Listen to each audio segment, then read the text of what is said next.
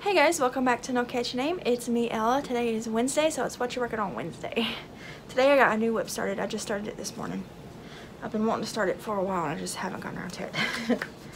but I got it printed off here. It's a Halloween project. This is what I got so far of it. Not very much, but it's coming along. It's coming along. but it is a pattern by Heidi Yates, which is Snappy Tots, and it is paid for a pattern, but I think I got it for free at some point. But it's called the Halloween Sampler Bag. Right there. I'm making this for myself for Halloween because uh, usually when you take a little kid trick-or-treating, uh, they give parents candy too. they always do to us, so I'm going to carry this on my shoulder this year um, as my candy bag. but it's so cute.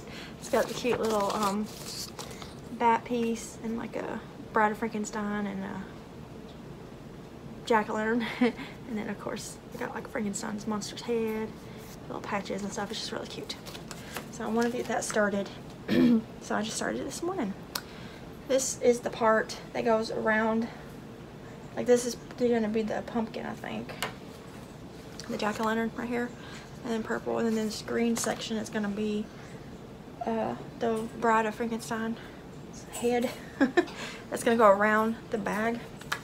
And uh, then it looks like uh, you attach green to the tops of these to make the Frankenstein's monster part right there. So this is like the bottom of the bag and then he'll be the top of the bag. It looks like it's got a folded over black piece. It's got a lot of pages. I printed out a lot of pages. But um, I, I, always print out patterns I know I think I'm probably going to use again. And I love Heidi Yates patterns. So I always print hers out when I make them because I'm pretty sure I'm going to make them again.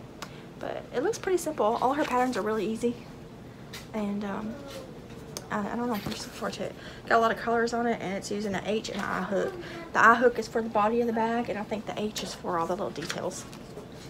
Like the back, the wings, and uh, the hair of Frankenstein's br uh, bride and the little patches and stuff, all that stuff. But yeah, so that's what I'm working on this Wednesday. Let me know in the comments down below what you guys are working on. I've got to get some laundry started and also Jessie has karate in a little while. So I'll probably work on this a little bit more and then I got to get on to doing stinking chores.